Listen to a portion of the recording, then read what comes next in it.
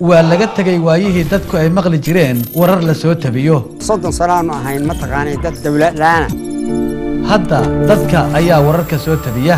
Madaxweynaha soomaaliya digriigiisana waxaa ku cad inuu diyaar u yahay inuu wada hadal kala galo cid allaale ciddii ay deegaan iyo dhul badeed isku haystaan. Maxaa ugu muhiimsan maxaana mudan in aad dadka la wadaagto? Madaxweyne ku-xigeenka dalkani kenya william ruuto ayaa isugu yeeray la taliyaashiisa si markaasi uga aninsado go'aanka ay dhowaan maxkamadda dembiyada dagaalka adduunka ee i c c da ay ku ogolaatay isticmaalka cadeymo ay bixiyeen markhaatiyaal hore oo ka soo horjeeday master ruuto sheekaba sheeka keentaaye fadlan nala wadaag xogta aad hayso. Wax weyn ayaa arkay gabdhay sidii horeeto oo lagu bixi karin jidka oo isbeddel weyn jiray.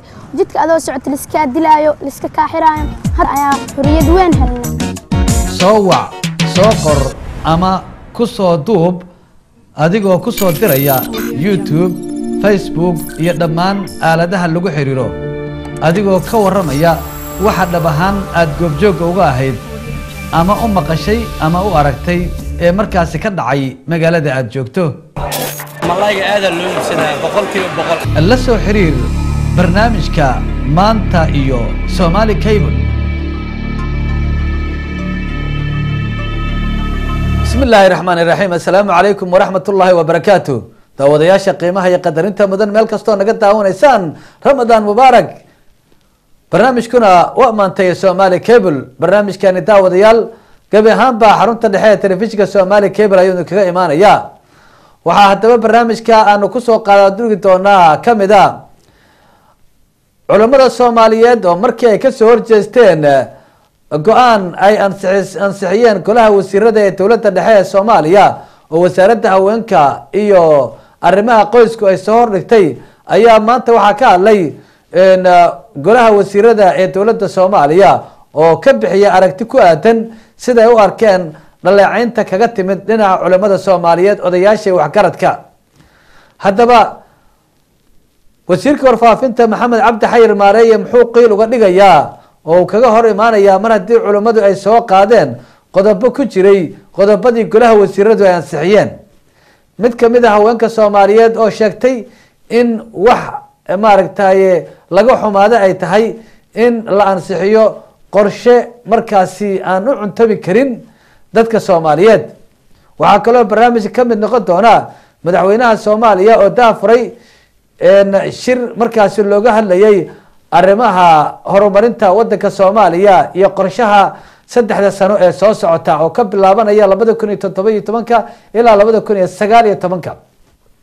Haddaba waxaanu wadanahaynaa hadaladii halkaasi ka jeediyeen madaxweynaha soomaaliya wasiirka qorsheynta qaranka iyo madaxdii kale halkaasi joogtay waxaa kaloon idin haynaa muran ka taagan dhinaca soo xulista golaha wakiilada ee somalilan iyadoo laga cabsi qabo in saami qaybsigu uu noqon waay uu noqdo mid aan isu dheelitirnayn haddaba dood arrintaa ku saabsan iyo walaac arrintaa ku saabsan ayaanu idin haynaa qaab xulashada saami qaybsiga xildhibaanada ama golaha wakiilada ee somalilan oo aada looga dayrinayo.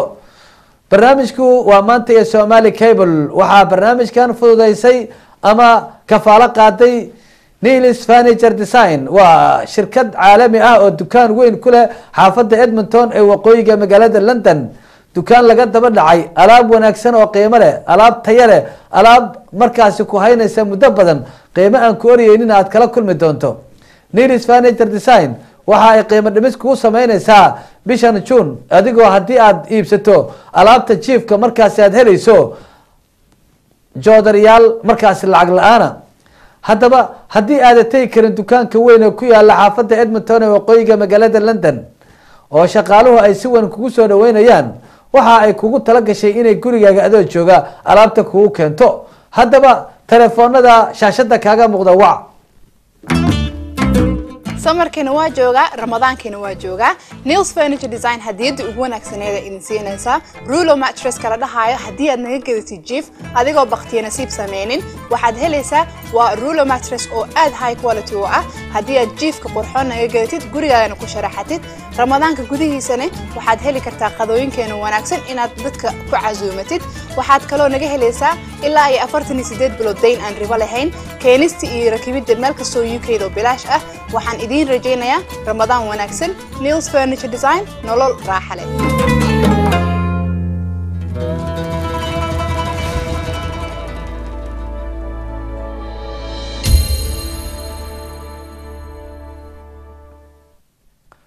waa tahay daawadayaal waxaa barnaamijka qeyb ka ah. Wadamada ay ciidamadu ka joogaan dalka soomaaliya qaarkood sida uganda oo ku hanjabaya inay ciidamo gaaraya lix kun oo u jooga soomaaliya ay kala baxayaan iyagoo arintaasina ay walaac ka muujinayaan midooda yurub. Hase ahaatee qayladii yeertaaba qof bay dan ugu jirtaaye ciidamada qaranka soomaaliya ayaad moodaa inay halkaasi xoogaa ka heli doonaan. Haddaba daawadayaal barnaamijka waxaanu ku bilaabi doonaa. Shalay markii ay soo baxday oo shir jiraayda qabteen odayaal waxgarad culamaa udiinka oo isu tegay kana qayliyey arrin aada ugu foolxun dhaqanka diinta islaamka oo la sheegay in golaha wasiiradu ay ansixiyeen ayaa waxaa markaasi ka daba hadlay maanta wasiirka warfaafinta oo ku tilmaamay mid aanay waxba ka jirin. Wariyayaasha ayuu kala kulmay xaafiiskiisa shir jaraa-id uu ka qabtay iyadoo waxaa laga hor imaanayana ay tahay dhaqanka dadkan reer galbeedka qaarkood ay wataan oo ah in markaasi ay foolxumo badan ay tahay xagga nidaamka guurka awooda badan ee la siinaya haweenka oo markaasi sida dhaqamada waddamada reer galbeedka ay aada moodid in halka soomaaliya iyo waddamada looga dhaqmo diinta islaamka ay ay raggu yihiin kuwa maamula guriga. Laakiin waddamada kale qaarkood waxaa ka muuqata in haweentu ay tahay awooda ugu badan ee markaasi iska leh reerka. Haddaba arrimo noocaas iyo kuwo kaloona afka ka sheegi karin ayay culimmadu sheegeen. Hase ahaatee wasiirka warfaafinta ayaa shir jaraa'id qabtay maxamed cabdi xayir maareeye waxaana shirkii jaraa'id u dhacay sida tan okay bismi illaahi raxmaan iraxiim shirkan jaraa-ida maanta wuxuu ku saabsan yahay arrin la xiriirta go'aan golaha wasiiradu gaadhay lix iyo labaatankii bishii may laba kun lix iyo toban oo la xidhiidha xuquuqda sinaanta jandarka siyaasadda qaranka ee la dhaho jandarka go'aankaas oo golaha wasiiradu gaadhay wuxuu la xidhiidhaa sidii bulshada soomaaliyeed. Meelaha dhaqan ahaan ay ku dambayso ee loo loo hagaajin lahaa. Tusaale ahaan waxaa la yidhi wiilasha iyo gabdhaha soomaaliyeed meelaha qaarkood perceptionka shacabku qabo ama dareenka shacabku qabo waxay hormariyaan wiilka marka dowladda wasaaradda ku shaqada leh iyo dowladduba waxay go'aamisay in gabdhaha soomaaliyeed ay leeyihiin xuquuq la mida ta wiilasha meel kasta oo diinta islaamka u ogosha. Sida waxbarashada caafimaadka shaqada iyo shaqaalaha cadaaladda. Go'aanka golaha wasiiradu ka soo baxay saasuu xusaya in in bulshada soomaaliyeed iyada oo la raacayo maaragtay shareecada islaamku waxa ay jidaysay in dhalinyarta soomaaliyeed ee wiil iyo gabadh lihi meelaha diinta islaamku u ogoshahay ay isku xuquuq noqdaan. Sida meelaha aan soo sheegay. Tusaale ahaan qodobka ugu muhiimsan waa qodobka laba labaad farqadiisa afraad oo ah siyaasadda jandarka qaranka waxaa hagi doona. Qodobka kood waxaa la leeyahay shareecada islaamka ayaa hagaysa wax alla wixii shareecada islaamku qabto gabadha soomaaliyeed ay u fasaxayso waa inay ula mid ahaataa wiilka wiilka walaalkeeda inay ula mid ahaato. Waxaan ka xunnahay xukuumad ahaan iyo dowlad ahaanba in dad meel uga dhacaya mas'uuliyadoodu ay si khalada u fasireen go'aanka golaha wasiirada. Oo ay yidhaahdeen dowladdu waxay meel kaga dhacday diinteenna maaragta islaamka waxa ay qabto taasoo aan waxba ka jirin halkan waxaa waxaa yaalla siyaasadda qaranka ee jandarka. Waa la akrin karaa qof kasta ayay u furan tahay. Sharci ama siyaasad la faafiye weeye. Sharci maahane waa siyaasad waa policy la doonayo bulshada soomaaliyeed meelaha ay ka liidato ama xag dhaqan ha noqoto ama xag siyaasadeed ha noqoto ay in laga soo qaado la doonayo. Si bulshada soomaaliyeed xooggeeda iyo kartideeda iyo aqoonteeda dalku uga wada faa'iidaysto. Iyada oo bays looga dhigay siyaasadda dowladda looga dhigay diinta islaamka. Sidaad ogtihiin golaha wasiiradu mar kasta uu go'aan gaadhayo go'aan siyaasadeed ama mid sharci wuxuu leeyahay daduu la tashado oo ah sharci yaqaano dad diinta islaamka ku xeel dheer dad dhaqanka soomaaliyeed ee suuba ku xeel dheer ilaa go'aamadaas dadkaas la soo marsiiyo. Anigu haddaan sharci keenayo waa inaan soo marsiiyaa garyaqaanka guud oo u taagan sharci yaqaanka u taagan. Waa inaan soo marsiiyaa la taliyaha dhinaca diinta islaamka ee golaha wasiirada shuruucda islaamiga. Waa inaan soo marsiiyaa la taliyaha dhinaca dhaqanka ee golaha wasiirada. Markaa kadib ayaan golaha wasiirada keeni kara haddii su'aasha ugu horreysa la weydiiya waxa weeye ma soo marsiisay. La taliyayaasha dowladda ma soo marsiisay. Haddaan ha idhaahdo unbaa markaa laga doodi karaa. Marka sharcigani sharci rasmiya weeye oo lagu horumarinayo bulshada soomaaliyeed guud ahaan gaar ahaanna gabdhaha soomaaliyeed lagu horumarinayo wixii takoor ah ee ku jira wixii dib u ah ee ku jira lagaga saarayo oo la doonayo inay hesho xuquuqda diinta islaamka u ogoshahay xuquuqda dastuurka soomaaliyeed u ogol yahay inay hesho taas weeye waxaan la soo tashaday hadda markaan shirkan jaraa-id doonaya inaan qabto ra'iisul wasaaraha soomaaliyeed mudane cumar cabdirashiid cali sharmaarke waxaan ku marti qaadaynaa hay'adda culimada soomaaliyeed inay berri yimaadaan golaha wasiirada. Waa u furan yahay. Toddoba sideed toban shan iyo toban way ku imaan karaan. Ay la yimaadaan siyaasaddan meel uu ka jebinayo sharciga islaamka ay la yimaadaan. Waxaanu bulshada soomaaliyeed uga digaynaa dadka aan dowladda rabin doonaya dowladooda iyo shacabkooda inay iska hor keenaan inay ka waantoobaan brobagaanka ay fidinayaan bayska lahayn salka lahayn inay ka waantoobaan dalka soomaaliya shuruuc buu leeyahay dastuur buu leeyahay dastuurkiisu wuxuu qorayaa. Xataa kii lixdankii dastuurka ku-meel gaadhka waa ka adagyahay wax kasta oo sharciya oo ka hor imaanaya diinta islaamka shareecada islaamka waa waxba kama jiraan. Dastuurkaa naga weyn annaga diinta islaamkaa naga golaha wasiirada ka weyn ma samayn karno wax ka hor imaanaya shareecada islaamka. Sharciguna nooma ogola. Marka bulshada soomaaliyeed waxaan uga digaynaa brobagaanka lagu fidinayo baraha bulshada iyo meelo ka mid a. Dad aan mas'uuliyadooda sida ay tahay u gudanayn oo bulshada doonaya shacabka soomaaliyeed dowladda inay iska hor keenaan ay wadaan ayaanu uga digaynaa. Waxaan leenahay golaha wasiiradu wuxuu sameeyo waa wax waafaqsan. Shareecada islaamka iyo dhaqanka suuban ee soomaaliya. Waa tahay wasiir waa waxaan rabaa inaan ka weydiiye hay'adda culamada soomaliya shalay waxay si toos u sheegeen in qorshahan ay ka dambeyso ciidamada amisom inta badan waxay diiradda saareen in barnaamijkan counter balansiga in ay wadaan mashruuc ay wadaan amisom inay tahay oo la doonayo in qalqal lagu geliyo diinta islaamka adna waxaad ka dhawaajisay in sharciga islaamka dowladda ay ilaalinaysa iyo xeerarka caalamiga. Marka isku waafajinaysa arrimahaas. Berri waxaanu sidoo kale marti qaadaynaa miidiyuhu inay yimaadaan golaha wasiirada hay'adda culimadu hunhunno hadal maaha ha yimaadeen golaha wasiirada waa u fasaxan yihiin sidoo kale miidiyaha u fasaxan open debate wey waxa weeye wixii xuquuqda haweenka soomaaliyeed diinta islaamku u ogoshahay dastuurkuna u ogolya xaq u leeyahy oo sida aan sheegay ay ka mid tahay waxbarashada ay ka mid tahay shaqada iyo shaqaalaha. In loo ogolaado in gabadha soomaaliyeed shaqaysato quutul daruurigeeda la soo baxdo iyada oo gudanaysa waajibaadkeeda diiniga ah oo aan ku xadgudbaynin. Cadaaladda dhaqanka kale ee bulshada oo ay ka mid tahay gudniinka fircooniga ah oo kale oo diinta islaamka aan bays ku lahay. Waxyaalahaasaan doonaynaa annaku dowla shacabka soomaaliyeed baan u taagana wixii dhibaya gabadha soomaaliyeed ee aan diin ku waajibin ee aan dastuur ku waajibin inaan ka celinaan waajibkaygu wey amison dowladdan go'aamadeeda wax shaqaa kumale waa ciidan halkaan u yimid inuu amniga inaka gacan siiyo wadamo doonaya in ay inaka gacan siiyaan sidii aynu dib ugu soo kaban lahayn.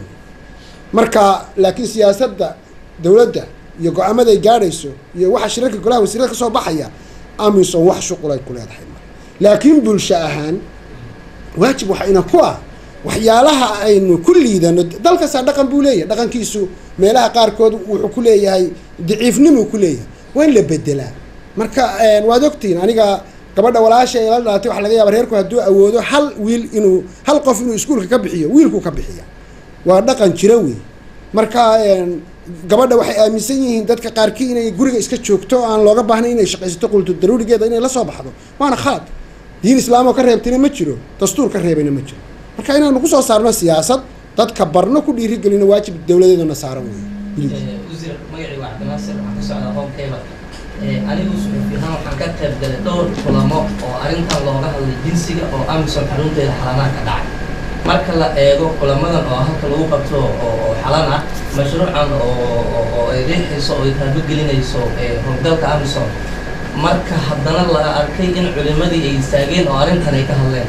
Culimada hadda aad tiri waxay ka hadleen arrintan waa culimadii shalay dowladnimada u istaagay.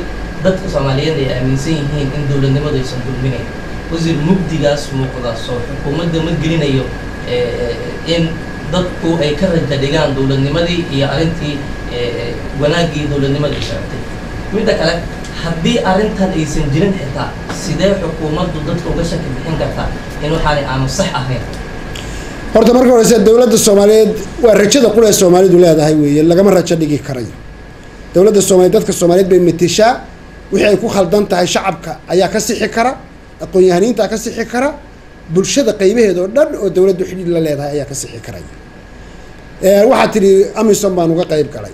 Waxyaalo bulshada adduunku maanta adduunku waa waa waa qoys keliya wey wixii cidi ku wanaagsan tahay waa laga soo qaataa wixii cidi ku xun tahayna waa laga reeba. Waa adduunku qoys wey waayo halkan in ciidan ciidamadii ajaanibi yimaadaan oo amnigeenna ka qayb qaataan oo u dhintaan waxaa keenay qoysnimada adduunka ayaa keenay. Anigu meelaha qaarkood waa arkay meelo looga hadlayo siyaasadda in laga siiyo gabdhaha soomaaliyeed go'aan qaadashada hay'adaha go'aan qaadashada in laga siiyo wax laga siiyo boqol kiiba soddon laga siiyo. Debates noocaasa oo ama dowlado walaalo aan nahay saaxiib nahay nagula talinayaan waa talo. Ama ama meelo kale gabdhaha soomaaliyeed iyo dad kale aqoon isku weydaarsanayaan waa looga wada hadlay adduunku waa ku kala duwanya wadamo ayaa baarlamaankooda konton boqol kiiba ka badan gabdho yihiin. Ma wanaag bay soo kordhiyeen mise xumaan bay soo kordhiyen debate wey meelaha qaarkood inaka wayna ka yaryihiin meelaha qaarkood wayna ka badan yihiin laakiin waxaa adduunkan hormaray isku waafaqsan yahay. Bulshadu hadday toban milyan tahay inaan la la la ignore garayn fifty percent konton boqolkiiba. Haddaad tidhahdo bulshada waa frozen ma shaqaynayso. Guryahay fadhiyaysaa oo haddana intii kale kontonkii soo hadhayna labaatan iyo shan boqolkiiba ay yihiin under age oo da-doodu yar tahay yaa dalka u shaqaynaya o dhisaya. Yaa toddobaatan iyo shan boqolkiiba quudinaya shacabkii soomaaliyeed ma labaatan iyo shan baa quudin karta. Gabdhaha soomaaliyeed waa inay xuquuqda shaqada helaan. Gabdhaha soomaaliyeed waa inay xuquuqda waxbarashada helaan. Gabdhaha soomaaliyeed waa inay xuquuqda cadaaladda helaan. Inta diinta islaamka u ogoshahay mar walba annaga qowlkaygu saas wey qowlka dowladda soomaaliyeed saas waaye qowlka dastuurka soomaaliyeed saas weeye marka dowladda soomaaliyeed waxay ku shaqaynaysaa oo u taagan tahay rabitaanka shacabka soomaaliyeed. Wax kaloo aan u shaqaynaynaa ma jiro. Lagamana rajo dhigi karo rajada quree la leeyahay baa ah dowladdan inay shaqayso xoog yeelato shacabkeeduna ku xidhmo. Marka waxyaalaha la doonayo shacabka iyo in lagu kala gooyo dowladda lagu kala reebo waa inaan sidan aan ku noolnayn shan iyo labaatankii sano ku sii noolaano ugu dambeynta hay'adda culimada soomaaliyeed hadday hadashay berri baa loo loo loo gogol fadhiyaa. Inay golaha wasiirada yimaadaan. Sharcigan intay horu soo qaataan meesha uu kaga hor imaanayo diinta islaamka inay la yimaadaan. Waa marti qaadayna waa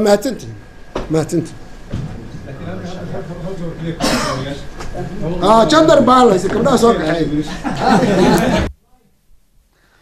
waa tahay wasiir maxamed cabdi xayir maareeye wasiirka warfaafinta ee dowladda dhexe ee soomaaliya.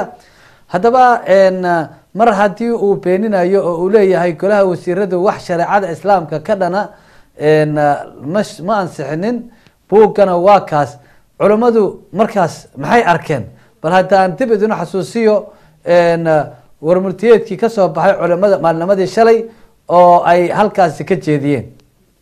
Bayaan ku saabsan aragtida culimada soomaaliyeed ee siyaasadda qaran ee jinsiga jender beena qowseyn jender labadii kun iyo lix iyo tobanka. Alxamdu lilah wasalaatu wasalaamu calaa rasuuli illaah wa bacd.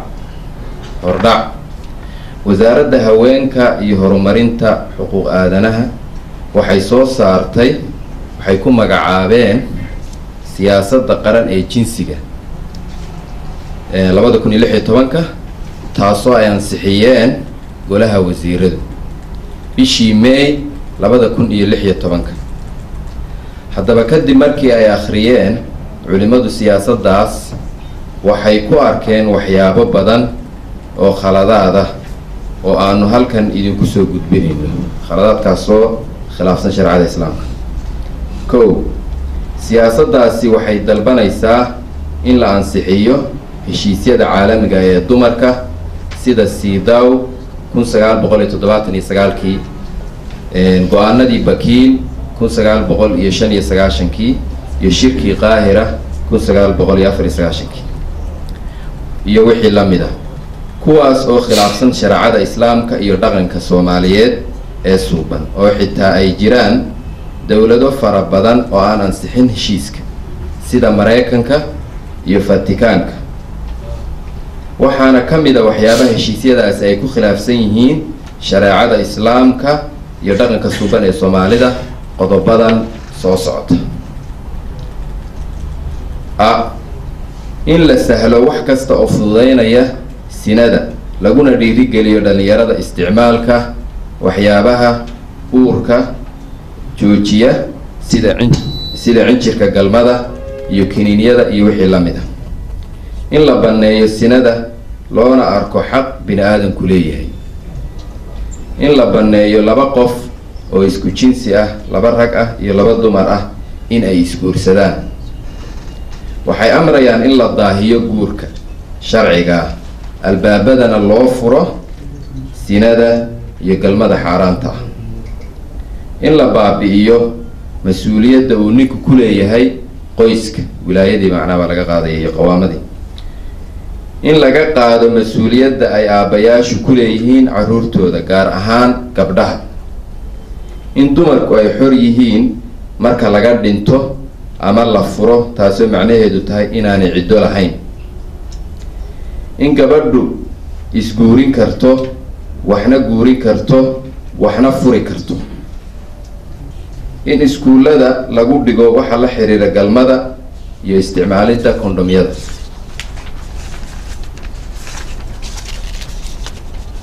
waxay waajibinaysaa ama waajibinayaan heshiisyadan inay dumarku qabtaan jagooyinka ugu sarreeya ee dowladda.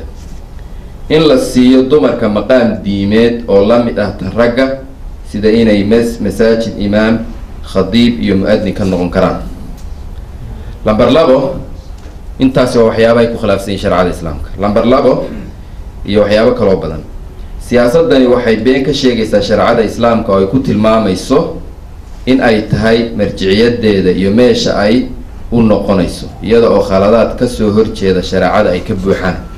Ayay waxay leedahay marjic iyagu waa shareecada islaamka. Siyaasadani waxay dalbanaysaa in la mamnuuco dhammaan noocyada gudniinka gabdhaha iyada oo aan laga soo reebin gudniinka sunniga ah. Sunniga loo yaqaan taasina waxay khilaafsan tahay shareecada islaamka waxayna ka tarjumaysaa ajenda shisheeye.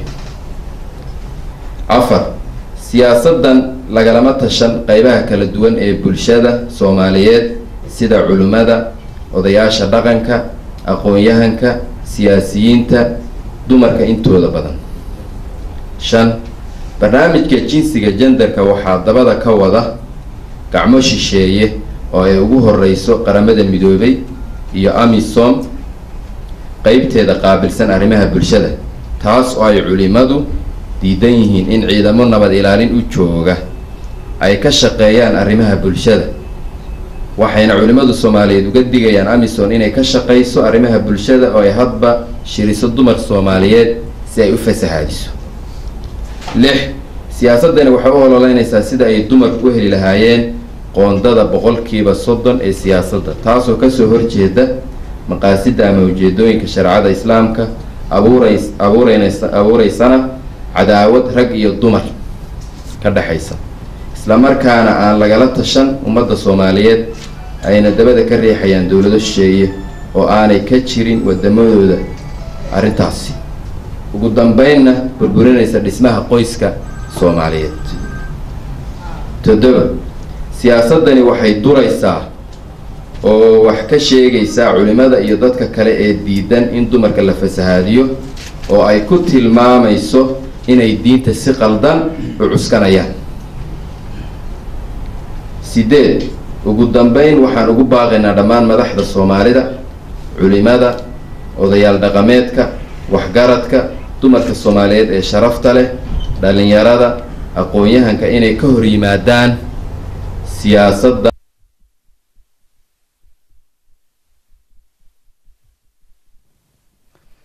waa tahay daawadayaal haddaba culimmadiina waa taas iyaguna sheegay waxyaabaha ay ku diidan yihiin buuggaasi ay wasaaradda haweenka iyo arrimaha qoysku ay hordhigtay golaha wasiirada golaha wasiiraduna ay ay maaragtay ansixiyeen.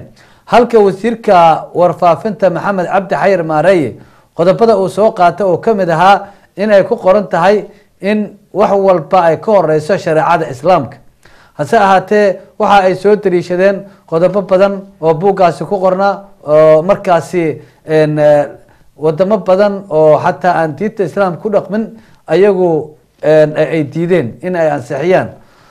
Haddaba daawadayaal mid ka mid a haweenka ayaa iyaduna waxa ay ka hadashay aragtideeda ku wajahan waxyaabaha la isku haysto ee xagga dumarka ah waana tan annagu hortu sharciga u horreeya ansixiyeene rag iyo raggu way isguursan karaanta hortu islaam baynu naho mid inaga suuro gasha ma aha. Waa waddankeenna iyo dhaqankeenna oo lagu ciyaaraayo nin nin guursaday haddana maynaan arag ilaahu hayna tusin. Waa mucjiso inugu soo fool leh. Laakiin ilaahay waxaan ka baryaynaa ilaahay inuu taas naga dulqaado. Naag iyo naag naag iyo nin baa laysu xarimo diinteennu ogoshahay.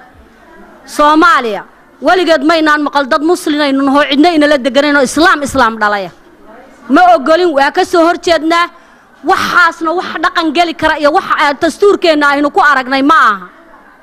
Iyo midnimadeen soomaalinimadeenna wax kala dhantaalayaba waa. Haweenka aan u soo noqonaya haweenka soomaaliyeed doorka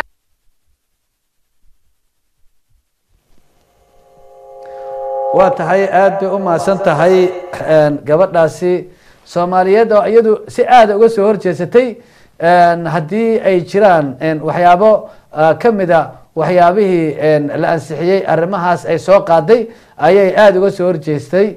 Haween badan oo soomaaliyeed ayaa iyaguna ka qaylinaya laakiin kor iyo hoos waxay u baahan tahay in la turxaan bixiyo waxyaabaha ku qoran buugga waxyaabaha golaha wasiiradu ansixiyeen iyo weliba arintan iyo seminaaradan ay amisom u qabatay haweenka iyo weliba culammada oo odhanaysa haweenku boqolkiiba soddon marka ay leeyihiin ilaa ilaa ina loo qoonteeyaa waxaa ka habboon in si kale loo dhigo.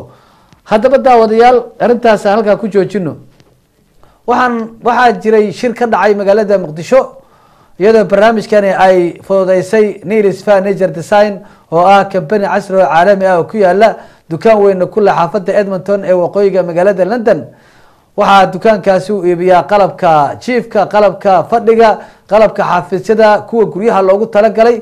Haddaba ciiddii laftirkeedii waa ay soo dhowdahay. Haddii aad dooneysa alaab taya leh oo markaasi aad ku ciiddo adiguna ilmahaaguna ay ku ciidaan hore u gaar nilis furniture design. Weliba waxaan kugu bishaareynayna in ay qiimo dhibis weyn ku samaysay alaabta islamarkaana haddii aad jiifka gadato fadhi joodariyaal ku raaligeliya kaa dhammaanin dhowr sano aada haysato inaad kala kulmi doonto.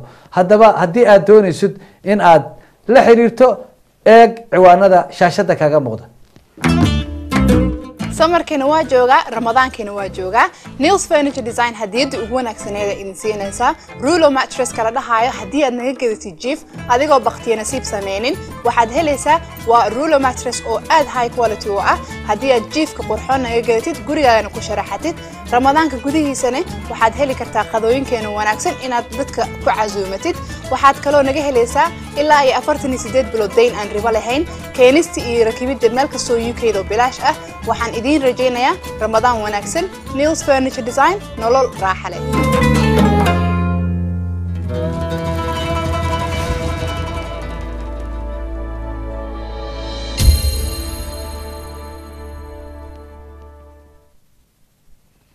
waa tahay daawadayaal madaxda dowladda dhexe ee dalka soomaaliya ayaa ka qeyb galay kulamo muhiima oo ka dhacay magaalada muqdisho. Waxaa maanta madaxweynaha soomaaliya oo ay garbihiisa fadhiyaan guddoomiyaha baarlamaanka soomaaliya iyo ra'iisul wasaaraha soomaaliya golaha wasiirada xildhibaano iyo marti sharaf kale oo dhan ay maanta markaasi la daha furay qorshe loogu magac daray qorshaha qaranka qorshaha horumarinta qaranka ee saddexda sano ee soo socod oo la yidhi faqriga ayuu ka saarayaa dalka soomaaliya waddada horumarkana waa u jeexi doonaa haddaba waxaa halkaas lagu soo bandhigay buugaag ka tarjumaysa arrintaasi. Wasiirka qorsheynta iyo iskaashiga caalamiga cabdiraxmaan caynte ayaa isagu waxa uu ka hadlay habka loogu guuleystay qorshahan in la soo hordhigo dowladda oo maanta la ansixiyo. Iyo in dhidibada loo aaso sarreynta sharciga heerka federaalka iyo heerka gobollada mudan madaxweyne iyo mudan ra'iisul wasaare iyo dhammaan golaha wasiirada qorshaha diyaarinta qorshahan wuxuu ku salaysanaa sida la sheegay wadatashi dhammaan dowlad goboleedyada dalka ka jira marka somaliland laga reebo waa tagna caasimadahooda dowladahooda iyo degmooyinkooda iyo bulshooyinkooda. Rayidka ah waa la tashanay waqtina waan gelinay. Waxaan kaloo si gaara ula tashanay ganacsatada qeybaha kala duwan ee bulshada rayidka ah gaar ahaan dhalinyarada iyo iyo haweenka iyo dabcan saaxiibadeen oo iyaguna qeyb weyn ka ahaa si gaara madaxweyne haddii gaara xoogga loo saarayo kobcinta ilaha aasaasiga u ah dhaqaalaha dalka oo ay ugu horeyso xoolaha beeraha kalluumaysiga i c t oo ah teknolojiyada qeybaheeda kala duwan maarkin maaliyadda iyo bankinka iyo fursad abuurid. Mudan madaxweyne halkan waxaa muhiima inaan ka tilmaamno in marka laga hadlo arrinta xoolahoo kale saad ka warqabtidba sannadkii la soo dhaafay iyo sanadkanba ay si weyn u bilaabatay dib u dhoofintii xoolaha. Si gaarana waxaan u ammaanaynaa wasaaradda xanaanada xoolaha wasiir saciid oo halkaas fadhiya oo runtii shaqo aad u wanaagsan arrintaas ka qabtay. Hadafka labaad uu leeyahay qorshahan waxay tahay in dib u habeyn lagu sameeyo kaabayaasha dhaqaa kaabayaasha dhaqaalaha ee asaasiga ah iyadoo aan ka bilaabayno tamar nadiif ah biyo iyo waddooyinka dhaqaalaha dalka isku xira iyo dekadaha waasicintooda iyo eeraboorada waxaan rabaa wax yar inaan meeshaas dul istaago mudane madaxweyne anigu sannadkii iyo barkii aan joogay wasaaraddeeda iyo tiimkayga waa igu ogaayeen waxaan xoogga saarayna arrinta tamarta. Oo aan u aragno inay dabar ku tahay dhaqaalaha dalka oo aan laga hadli karin wax kale haddaanan korontada wax ka qabanin. Arrintaas xooggaan saarnay qorshe cadaan ka keennay qorshahaasna wuxuu yahay maadaama hadda aananba haysan meelo koronto laga dhaliyo inaan fursad haysano ah inaan dhaafno dalalka dariskeena iyo kuwa nala midka oo aan ka bilowno mid nadiif ah. Annagoo qoraxda ilaahayna siiyey ka faa'iidaysanayna iyo dabaysha ilaahayna siiyey waxaan report ayaa jiray oo african development bank ay sameeyeen. Reportkaas waxaa ku caddaa in korontada soomaaliya ay u baahan tahay wadarteeda ay hadda tahay boqol iyo konton megawatt oo keliya. Annaga hadda waxaan halkan ku soo qornay in laba boqol iyo konton megawatt la gaarsiiyo. boqol iyo kontonkaas megawatt kontomeeyo ilaa siddeetan xamar ah u baahan si fududaan loo bilaabi karaa iyadoo solar la isticmaalayo hadafka saddexaad ee qorshahan wuxuu yahay in la xoojiyo tayada iyo kartida ay hay'adaha dowladdu u leeyihiin inay shaqadooda qabsadaan iyo in dib u habeyn lagu sameeyo guud ahaan hanaanka dowladnimo. Hadafka afraadna wuxuu yahay in iyo in dhidibada loo aaso sarreynta sharciga heerka federaalka iyo heerka gobollada mudan madaxweyne iyo mudan ra'iisul wasaare iyo dhammaan golaha wasiirada qorshaha diyaarinta qorshahan wuxuu ku salaysanaa sida la sheegay wadatashi dhammaan dowlad goboleedyada dalka ka jira marka somaliland laga reebo waa tagna caasimadahooda dowladahooda iyo degmooyinkooda iyo bulshooyinkooda. Rayidka ah waa la tashanay waqtina waan gelinay. Waxaan kaloo si gaara ula tashanay ganacsatada qeybaha kala duwan ee bulshada rayidka ah gaar ahaan dhalinyarada iyo iyo haweenka iyo dabcan saaxiibadeen oo iyaguna qeyb weyn ka ahaa. Si gaara madaxweyne haddii waa tahay daawadayaal dhinaca kalena madaxweynaha soomaaliya oo isagu kulanka loogu magac daray qorshaha qaranka ee saddexda sano soo socota daafuray ayaa meesha ka hadlay waxaana hadaladiisii ka mid ahaa. Soomaaliya la dejiyada siddeetan iyo lixdii. Siddeetan iyo lixdii haddana laba kun iyo lix iyo toban ayaan joognaa marka waktiga u dhexeeya ahay waa la garan karaa afartan. Soddon sano. Soddon sano marka soddon sano dalkaani muxuu ahaay ma lahayn wax dokumenti ah oo la tix raaco oo meeshaanaan joognaa meeshaan rabnaa inaan gaarno waddadaanaan maraynaa wax la yidhaahdo oo lagu xisaabtamo oo dowladdana lagu xisaabiyo. Qorshihii maxaa idiin qabsoomay maxaa idiin qabsoomi waayey wixii idiin qabsoomi waayey maxay idinku qabsoomi waayey xisaabtanka oo dhib badnaana. Xisaabtanku wuxuu iska noqonayaa farasku fiiq iyo dokumentigii yaraahay labada beej ayo berigii wasaaradda qorsheeda waa sidaan aad tiri maxaa ka qabsoomay in la yidhaahdo wasaaraddaana ay tirahdo boqolkiiba muxuu ahay siddeetan waa qabsaday tan tira boqolkiiba boqolaan qabtay laakiin markaa isku soo celisid hadafkii weynaayo yacni qaranka qarannimada ahay goolkii qarannimo in aanu ku imaanaynin qorshayaal aan midays laakiin hadda kan wixii ka faraxmoo dhamme waa wax kan u wada adeegayo oo marka u dambeysa kan goolasha ama hadafyada halkan ku qoran in la xaqiijiyo oo la gaaro la rabo marka haddii qof walba inta waa dadaalaysay uu yiraa isagoo u dadaalo. Laakiin marka laysku keeno hal hadaf oo hadaf qaran ah oo la xaqiijiyey la waayo. Dee waxqabadka markaas micnaha uu yeelan karo waad garanaysaa? Qofka markaad weydiiso kale aniga waa dadaalay.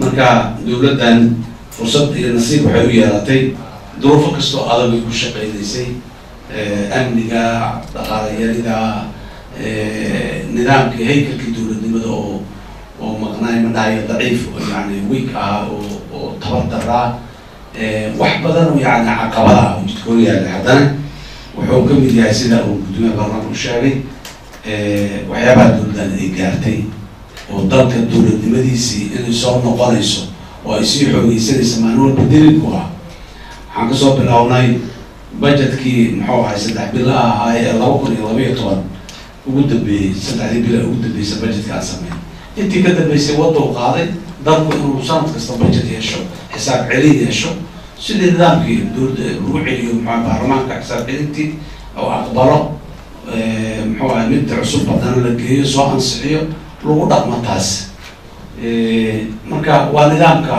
waa waa dhaqanka dowladnimada ee adduunyada o dhan ay taqaano ee lagu dhaqmo kanna wuxuu ka mid yahay dhaqanka dowladnimada ee caalamka o dhan ay ku dhaqmo ma jirto dalaana caalamka ku yaal oo aan qorsho lahayn saddex sana annaga aan dhahano shan sano kuwa ha dhahano toban sano ha dhahano waa la sii weynaya hadda higgs yaa loo bedelay oo soddon sano iyo afartan sano iyo konton sano iyo yaa loo bedelay xaggee gaaraynaa konton sano ka bacdi in laga hadlo iyo muxuu ahay hadaf konton sano kadib in la xaqiijiye ay tahay in hadda la sii dejiyo konton sano kadib dadka batalada ku jiraay markaas kuma jiraan walduba mana joogaan laakiin wada la buxa oo la isku sii dhiibo oo qora oo qof walba qof kaka dambeya inti u sii dhiibto ilaa laga xaqiijiyo ummaddan loo sheego leedaha waa meeshaas meesha u socono annagu hadda meesha u socono waa meeshaas waa meesha muxuu ahay wasiirku hadda uu sharaxayay iyo ahdaaftaasi laba kun iyo sagaal iyo toban wakti dheer ma waa waa berri haddii la yihahdo laba kun iyo sagaal toban ma gaarno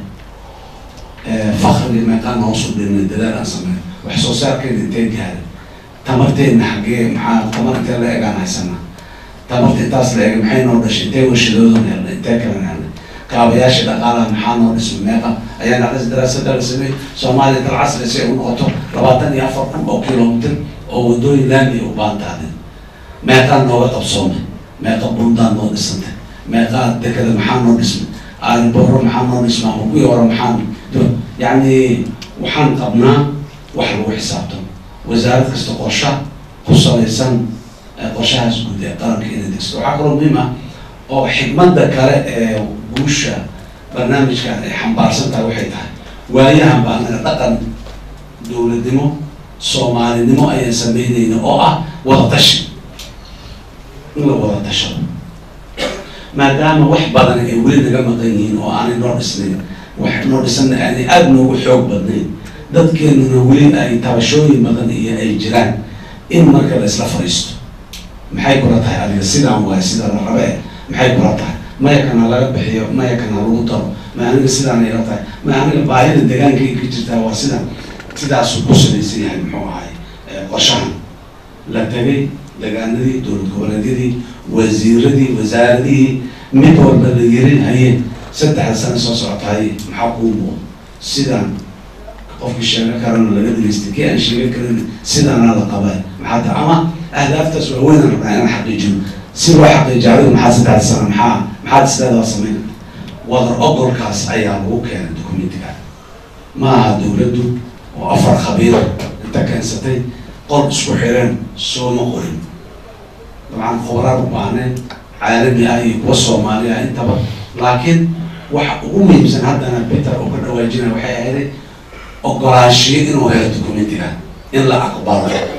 Dadku inay aqbalaan oo iibsadaan nacam qorsho qaran oo saddex sano ah waaye aniga meeshaasaan kaga jiraa shaqadaas waa la ilaah aan ka soo dhalaalo. Qaybteydi qofku inuu dhaho oo iibsado gaala roolo waxaas waxaa aasaas u ahayd marka wada tashi. Aada iyo aad ayaan ugu kalsoonahay documentigan inuu noqon doono. Documenti dadka soomaaliyeed ay wada xambaaraan hadafka ku yaalana la wada qaado muxuu ahay fariinta u xambaarsan tahay in mid la wada xambaaro ay noqoto. Saddex sano kadibna aan muxuu ahay aan aan aan markaa isugu nimaado xisaabta. Maxaa ka dhaqan galay saddexdii sano? Barnaamijka iyo qorshihi adeegsan wixii dhaqan geli waayeen isweydiino maxay u dhaqan geli waayeen aad iyo aad. Markaasaa dhidanaye shan sano aan ka dhigana kan dambe waxaa marka uu qorshayaal muxuu ahay qorshahaas ugu dambeeyey soomaaliya ay lahayday kan aada uga duwan yahay leanna duruufihii soomaaliya beriga ay kusugnayd iyo kan ay maanta kusugan tahay kala duwan waa ko kan labaad practiceski qaabka wax loo sameynaya xataa nafsadeeda way isbedeshay annagu hadda qorshahanan leenahay waa shaati soomaaliya loo taray waaye shaati caalamka kale loo taray maa new dealkeeni principleskiisa noogu jira maxaan ku idhahday waxaa noogu jira muxuu ahaay wixii noo gaarkaayo humanitariankaa noogu jira waxaa la yidhaha development plan marka la yidhaha qorshe horumareed horumarin un ha laga hadlo laakiin annaga wixii baahideena oo dhan qof maxaan ku biyo u cabo u baahan maxaad muxuu ahay horumarin kala hadashaa.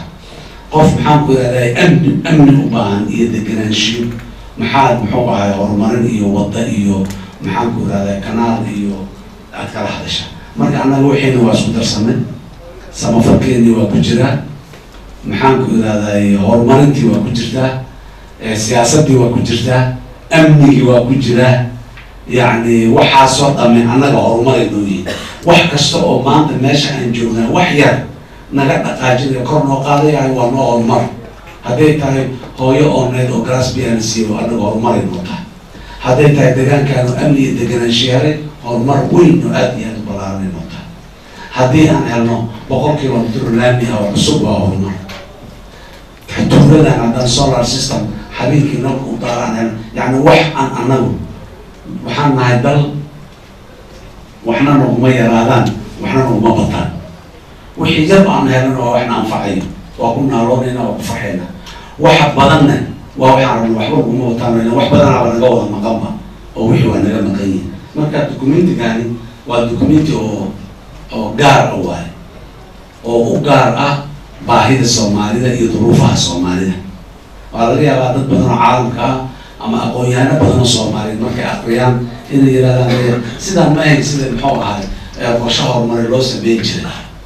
Horumarin in laga hadlay ahayd laakiin meeshaan samafalkiyaa ka siyaasadiyaa ku jirta. Oo maxaan ku waxaa laga hadlayaa amnigaa laga hadlayaa. Oo maxay yihiin waxaan maba ahan waxaan waxawaaye waa qorshihii horumarinta qaranka soomaaliyada maanta waaye. Soomaaliyada maanta waaye soomaaliyada berri insha allah waxaa imaan doona mid kale oo laga yaabo kan inuu ka sii feerweyn yahay. Kan waa hadda waa waxaa la yidhi waa soo koobis waa samary sida ku qoran. Kan dhabta oo faahfaahsan dabcan waa documenti documenti weyn. Laakiin aad wuxuu macnaha gaarka u leeyahy wuxuu yahay wuxuu ka hadlayaa baahida soomaaliyada maanta. Iyo horumarka waxaan u aragno soomaaliyada maanta haddaan berri wax kalaan u arki doonaa hiigsi kaloo intaa ka sii weyn ayaan geli doona dadkeenu inay sidaa u fahmaan waayo caalamkuna inuu sidaa noola fahmaan rabnaa waxaan ka jawaabaynaa waa arrintaas. Waxaan leeyahay runtii waa wax aada iyo aada loogu farxo oo aada iyo aada u qurux badan waxayna daliil u yahay tilmaan u yahay tusaale u yahay soomaaliya sida ay u soo kabanayso u soo socoto. Sida ay maalin walba jaranjarta hal tallaabo kor ay u sii qaadayso kor sii firo jaranjarta inta naga sii hor muuqato inaan fuulno oon ku guduro bahay way dheer tahay laakiin sagxadda dhulka ma joogno dhulka waa ka soo dhaqaaqnay waa muxuu ahay waa waa soconnaa ilaahay idankiisa waan gaarina meesha u socono mar kale waxaan rabaa intii igu horreysay ku raaco aada iyo aad inaan ugu hambaliyeeyo dhammaan.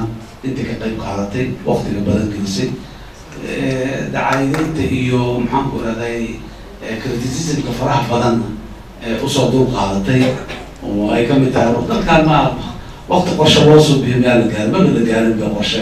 Muxuu ahaay maxay tahay waxa oo oo laga hadlaya sheegaysa marka yacni wax weyn waay. Waa la gaaray waqtigeedia la joogaa.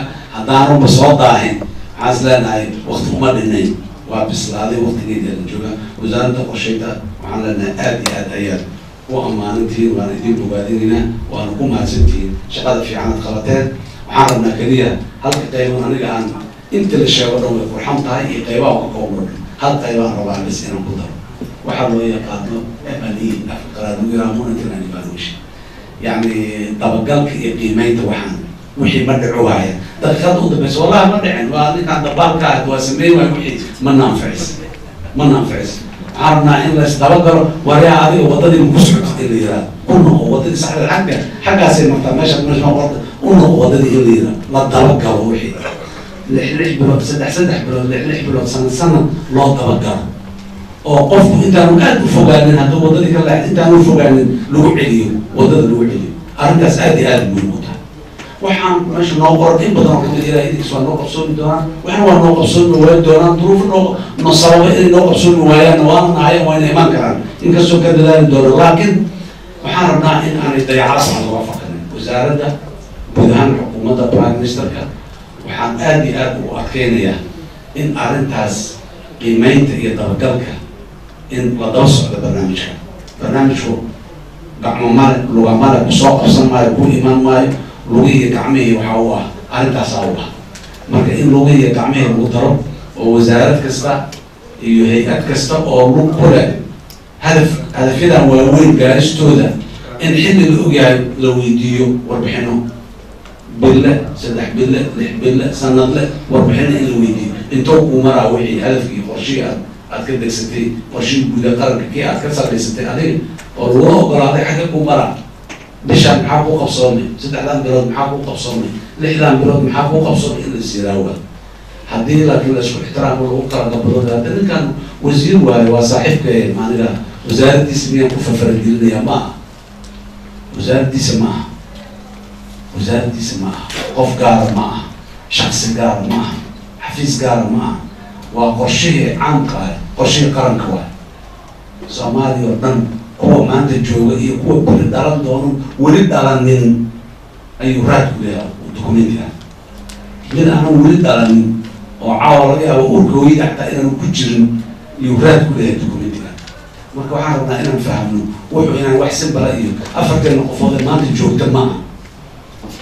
Afarteena maanta joogta ee ordeyna taagan ma aha.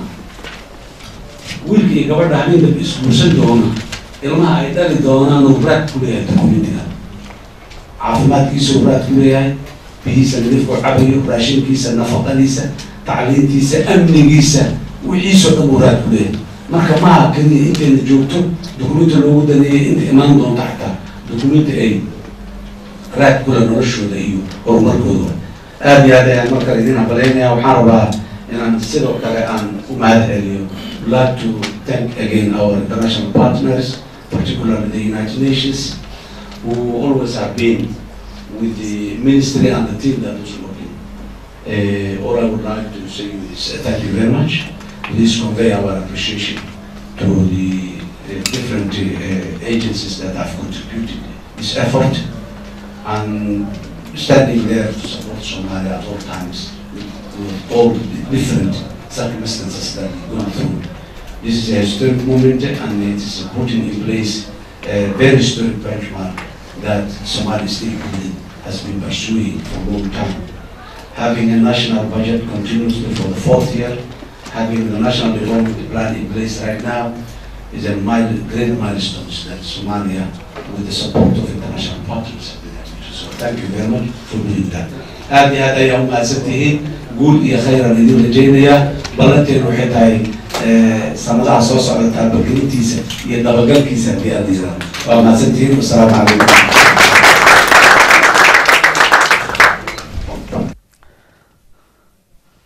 Waa tahay daawadayaal. Warar kale ayaa inoo soo socda oo magaalada hargeysa war laga soo gaaray oo ku saabsanaa habka saami qeybsiga oo laga qayrinayo dhinaca golaha wakiilada ee dhowaan la filayo in xildhibaano bedelaya kuwa haatan golaha wakiilada ay soo bixi doonaan. Hase ahaatee warbixin arrintaa ku saabsan waxaa inoo soo bandhigi doonaa wariyaheena faysal fife. Hase ahaatee war goordhowna soo gaarana waxa uu sheegayaa in wasaaradda awqaafta iyo arrimaha diinta ee dowladda dhexe ee soomaaliya oo uu agaasimo ka yahay sheekh cali dheere ay taageereen go'aankii ka soo baxay culammada soomaaliyeed. Iyadoo aad la socotaan in wasiirka warfaafinta uu shaaciyey in golaha wasiirada waxa ka soo baxay ay yihiin wax saxa oo shareecada islaamka ku xadgudbeynin. Hase ahaatee wasaaradda awqaabta ee arrimaha diinta ayaa ka hor timid kadibna waxa ay sheegeen in ay bayaankaasi raacsan yihiin culammada ay soo saareen. Islamarkaana waxay ugu baaqday in golaha wasiiradu ay ka laabtaan. Waa tahay daawadayaal markana dhinaca iyo dhadhaab.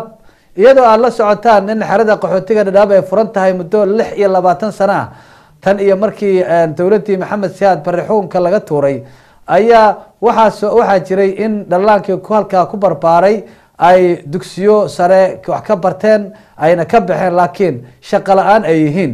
Haddaba maanta cabasho arrintaa la xiriira ayay soo bandhigeen oo waxa ay sheegeen in maadaama haatan la celinayo mustaqbalkooda oo mugdi ku jiro. Wariyaheena gobollada waqooyiga bari ee kenya ayaa warbixintan soo diray boqolaal ardayga wax ka barta dugsiyada sare ee xeryaha dhadhaab ayaa maanta ku dhaqaaqay dibadbax ballaaran ee uga cabanayaan mustaqbal la'aan soo wajahday waxbarashadooda. Ardaydan boqolaalka ah ayaa ka kooban galaashada kala duwan ee dugsiga sare iyadoo maalintii shalayeed lagu waday inay ardaydan u fadhiistaan imtixaanaadka dugsiga sare ayaa hay'adaha waxbarashada gacanta ku haya waxay ku wargeliyeen in egsaamka ay samayn doonaan keliya ardayda galaaska afraad ee dugsiga sare. Balse hadalkaasi ayaa waxaa ka gadooday boqolaal arday oo akhrista galaashada kala duwan ee dugsiga sare sida galaaska koowaad labaad iyo kan saddexaad. Dibadbaxan ayaa noqday mid saameyn weyn ku yeesha xaaladda waxbarasho ee xeryaha. Ardaydan boqolaalka ah ayaa maanta isugu soo baxay barxadda weyn ee xarunta hay'adda m s f ayagoo halkaasi warbaahinta kula hadlay dareenkooda inta ay goobta ku sugnaayeen ayaa waxaa u yimid sarkaal matalayay hay'adda u n h r iyo madaxda sare ee xerada intaasi kadib ayaa qaar ka mid ah ardayda waxay tv-ga somaali cable kaga hadleen dareenkooda iyo sababta keentay inay dibadbaxa sameeyaan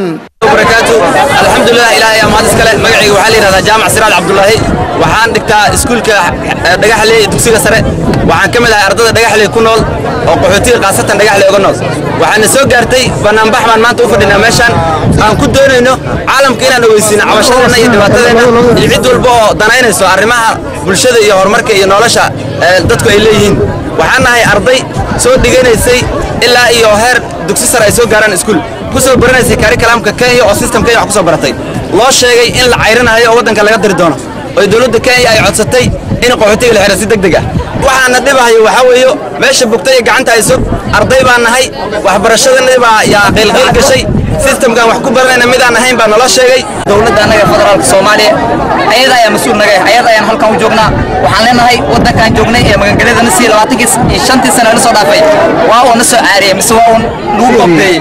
Marka waxaan ka codsanaynaa dowladda federaalka soomaaliya in ay xaqa annaga ogaata ayna noo suubiso fursado aan wax kugu barano dalka gudihiisa. Noola dhisa nolona siiya waxbarasho quality leh oo la siman midda aan hadda halkan ku haasano. Asalaamu calaykum waraxmatullahi wabarakaatu dhammaan waxaan halkan ka salaamaya ummadda soomaaliyeed meel kasta ay joogaan waxaan u mahadcelinayaa bahda saxaafadda ee mataqaanaa halkan diyaarka ku ah inay mataqaanaa shucuurtanada ay caalamka u gudbiso.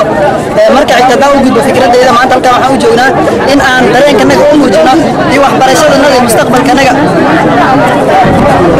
waxbarashadana iyo mustaqbalkanaga in lagu ciyaarayo ee aan dan laga lahayn dowladda soomaaliya iyo dowladda kenya iyo UNHCR waxaan ka codsanaynaa inay ardaydan iyo jiilkan soo koraya mustaqbalkooda ay fiiriso waxbarashadanada ay fiiriso ee mustaqbalkanaga iyo dadka dareenkanaga ay fiiriso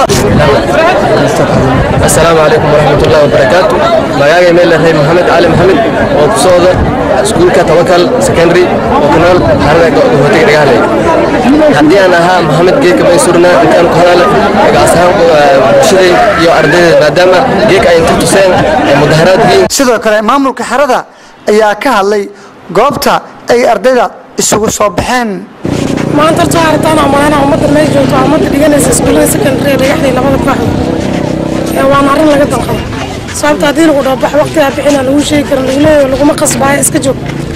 Dowladda kenya ay tiri xerooyinkaa la xiraya waqti la xiraayo saxna aysan sheegin. Haddana lagu leeyahay waa voluntary repatriation meelaan ku toosana waan garan lahaa maanka annaga wareerada meelaan ku toos annaga maxal carruurta annaga waan garan lahaa sana walaac annaga lahay mid ka sii waalan baa ilmaha ahay sababtoo qofkada secondary soo dhiganaya labiyo toban sano. Meel u socdo waa ul mugdi lagu tuuro kale meel u socdo mar nin nin yaqaano ma laha. Marka adduunweynaha waxaan u diraya haddii hadalkeena maqlayaan in arrintan ayada danqasho. Bood fara badan ay nagu hayso fikir fara badan ay nagu hayso xagjuglayntana dowladda kenya ay keentana waa mid aan u dulqaadan karin. Ilmaha anaga anaga oo maskax bay nagu rid waana wax wadar fara badan oo kale. Arrintan runtii aad bay anaga naftaan walaac nooga haysaa sababtoo ah intaasoo kun arday ah oo kalaas ku jirta haddii maanta dib loo celiyo labada koox mid un bay ku biirayaan sababtoo shaqo kale ama wax kale qaban shahaado ma haysaan ardada oo ay shaqadooda ay ku sii wataan iskuul maanta u qalmo iskuullada ay wax ku baranayaan oo xagoo kale lagama helayo marka waxay dadku ku qasbaysaa ardada haddii ay laabtaan in labada koox oo dagaalamaysa ay u soo kala dhuuntaan oo ay ku kala biiraan guud ahaan mudaharaadkan ay ardayda samaynayaan ayaa imaanaya xilli dhowaan gudda uu hogaaminayo safiirka soomaaliya u fadhiya dalkani kenya mudane jamaal xasan oo qaxootigu u sheegay inaanu jirin cid qasab dib loogu celinayo dalkooda hoyo. Balse weli waxaa taagan walaaca ku aadan xiritaanka xeryaha dhadhaab. Cabdisalaan salas somaali cable t v gobolka waqooyi bari kenya. Waa tahay daawadayaal markan iyo dhinaca iyo hargeysa. Waxaa sidaan hore idinkuu sheegay magaalada hargeysa warbixin nooga diyaariyey wariyaheena faysal fifa oo ku saabsan habka saami qeybsiga mudanayaasha baarlamaanka somalilan ka mid noqonaya oo cabasho badan laga muujinayo waa kan faysal fifa oo warbixintan goor dhaweeta noo soo diray. Iyadoo muddo ku siman sagaal bilood oo keliya xilligan ka harsayin xilligii loo qoonday inay dalka ka qarsomaan doorashooyinka aqalka baarlamaanka iyo madaxtooyada somalilan oo sida dikreeto ka soo baxday madaxweynaha somalilan ay dhigayso in bisha saddexaad ee sanada labada kun iyo toddobiyo tobanka si wada jira dalka looga hirgeliyo doorashooyinka wakiilada iyo sidoo kale madaxtooyada ay waxaa isi soo taraya afkaar lagu kala durugsan yahay taasi oo xukuumadda asxaabta siyaasadda dalka iyo sidoo kale xildhibaanada aqalka baarlamaanka iyo kuwa xilligan ku howlan inay isku soo sharaxaan ka qaybgalka doorashooyinkaasi ay isku weydaarsanayaan taasi oo mas'uuliyiinta qaarkood ay shaki kaga muujinayaan in xilligan aan la wada qaban karin doorashooyinka baarlamaanka iyo sidoo kale madaxtooyada ayagoo u cogsanaya inaanu jirin xeerkii dib loogu soo xulila xildhibaanada golaha wakiilada. Halka qaarkoodna ka digayaan in la kala qaado doorashooyinkaasi hadalhaynta ugu badan ayaa xilligan dul hoganaysa. Qasiga madaxtooyada sidoo kale shirgudoonka aqalka wakiilada kuwaasoo dhankooda isku tuurtuuraya. Meelmarinta xeerkii dib loogu soo dooran laha xildhibaanada aqalka wakiilada oo haba yaraatee xildhibaanada wakiiladu ilaa hadda meel marin gudoomiyaha xisbiga oo idin jineer faysal cali waraabe waxa uu aaminsan yahay xilligan in si midaysan loo wada qabto doorashooyinka baarlamaanka iyo madaxtooyada. Waana kan isagoo arrimaha ka hadlaya. Si uu dilay u sameeyo wax sameeyey meeshana ma dhaci karto nin speakera oo gudoomiye xusbi ah oo mucaaridi inuu haddana inoo hayo sharciga meelay ku jirtaa ma jirto waa jileeca soo dowladda soomaaliya inay dib u dhacdo. Haddaa la kala qaadana waxaa soo horeyn doonta tawe waxa laba laba kun iyo laba kun iyo lix iyo toban january ama december wayna dhacdaa.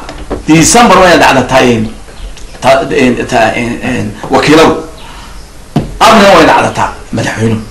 Haddaa la kala qaado haddii kale waan isdul saara inuu noo fadhiyaan baarlamaankaasi meeshaas oo cabdiraxmaan manaya guddoomiyan ahay mana idhaa waxaan xoro kobo adduunka ku soo noru british qaataan aan haysan waan la tartamina musharaxiinta dhankooda xilligan diyaarka u ah inay ka qayb galaan doorashooyinka aqalka wakiilada waa kuwo ku midaysan in si wada jira loo qabto doorashooyinka baarlamaanka iyo madaxtooyada waxaanay eedda ugu badan ku dureen xildhibaanada aqalka wakiilada. Sidoo kale waxay doonayaan in loo sii kordhiyo. Labiyo toban sannadood oo bilaa shaqo ah ayay meesha fadhiyaan golahan oo loo yaqaan dadka qaarkood u yaqaanaan guurtidaa yaabtay.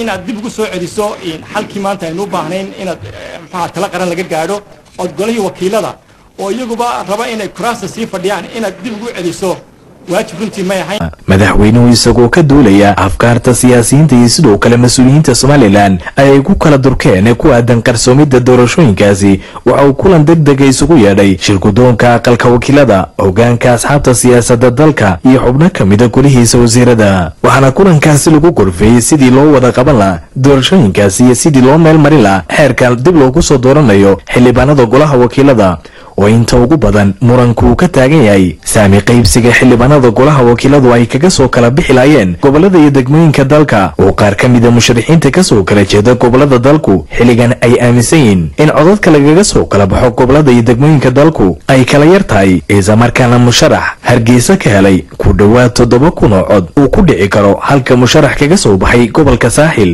kun iyo shan boqol oo keliya cod uu ku heli karo inuu ka mid noqdo xildhibaanada baarlamaanka. Oo inta badan siyaasiyiintu ay tilmaamayaan in haba yaraatee aanay arrintaasi ahayn mid sixi karta saami qaybsiga xildhibaanadu ku soo kala baxayaan. Kulankan madaxtooyada ka dhacayna waxaa warbaahinta faahfaahin ka siiyey hogaamiyaasha saddexda xisbi qaran ucid kulmiya iyo wadani iyo ciddii kale looga maarmi waaya.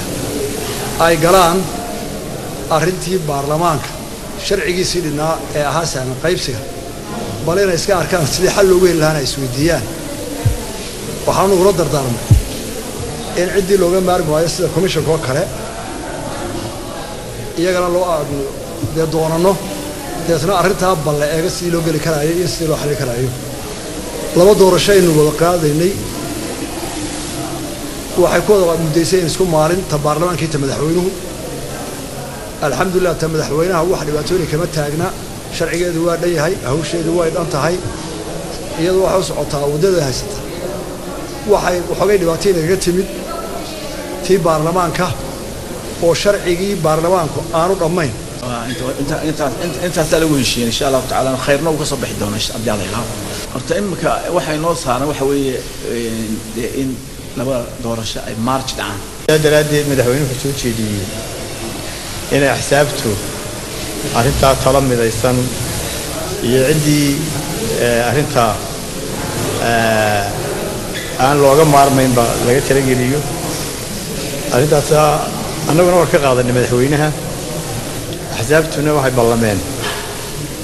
Arrinta lama gudagelin laakiin waxaa la ballamay arrintaas saami qaybsiga hore ayay maxkamadda sare ee dastuuriga ee dalku go'aan ay ka soo saartay doorashooyinka dalka ku shaacisay in si wada jira doorashooyinka wakiilada iyo madaxtooyada dalka looga qabto sannada labada kun iyo toddobiyo tobanka. Haddiiba ay suuragal noqoto in xilligan la kala qaado doorashooyinkaasina waxay saameyn ku keeni kartaa go'aan dastuuriya oo ka soo baxay maxkamadda dalka ugu saraysa waxaanay sii hurin kartaa khilaaf horleh oo soo kala dhex gala hogaamiyaasha asxaabta siyaasadda taasi oo saamixi kari weyda in doorashooyin xor iyo xalaali ka qarsoomaan dalka. Waxaana la filayaa in maalinta beriya si wada jira kulan gaadha ay ugu qaataan gudaha hargeysa. Hogaamiyaasha asxaabta siyaasadda dalka shirgudoonka aqalka wakiilada iyo sidoo kale guddida doorashooyinka somalilan kaasi oo la filayo in barbilow kulankaasi noqdo mid gogol xaadh u noqda sidii xal waara looga gaadhi laha meelmarinta xeerka xildhibaanada wakiiladu ilaa hadda tahli kari laayeen ee dib loogu soo dooranayo xildhibaanada wakiilada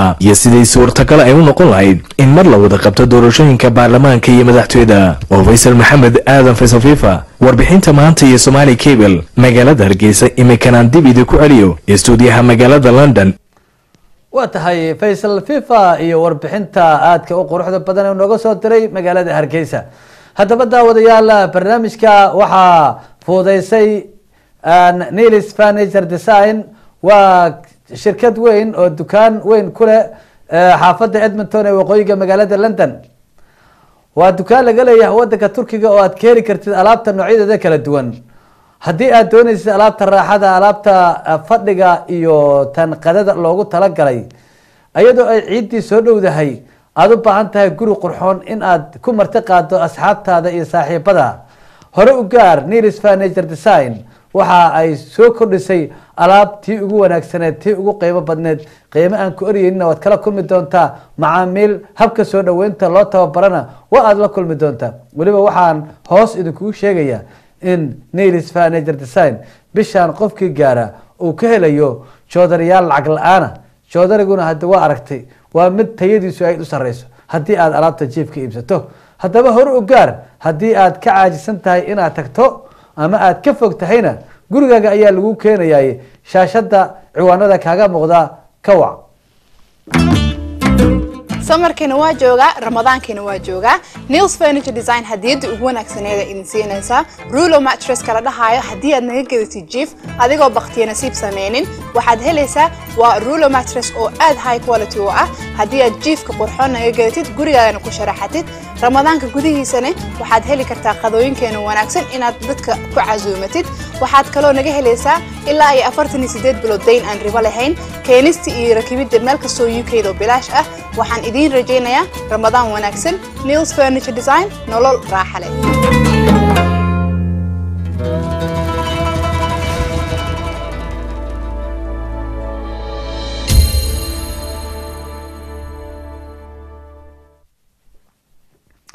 waa tahay daawadayaal barnaamijkiina waa naga intaa. Waa farsamadii hagaar la'aaneed ee bashiir bocor cabdisamed iyo yafarna daawadayaal tan iyo kulanti dambe dhammaantiin waxaan idinkaga tegaynaa sidaa iyo nabadgelyo.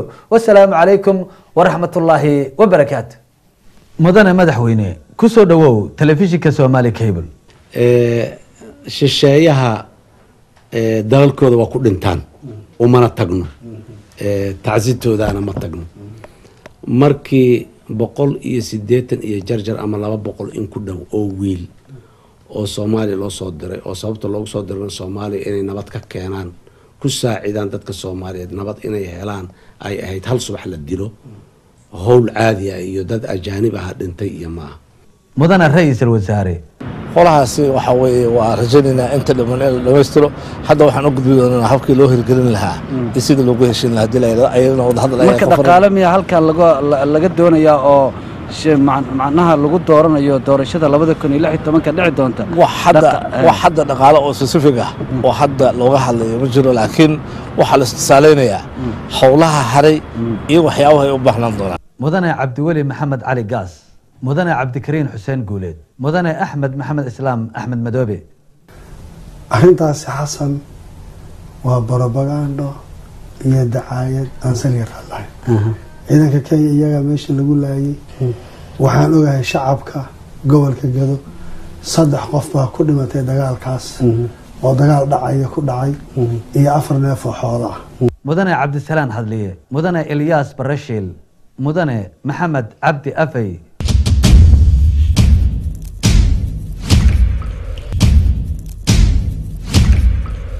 Magacaygu waa xasan sheekh axmed cadde halka aad naga daawanaysaana waa telefishinka somali cable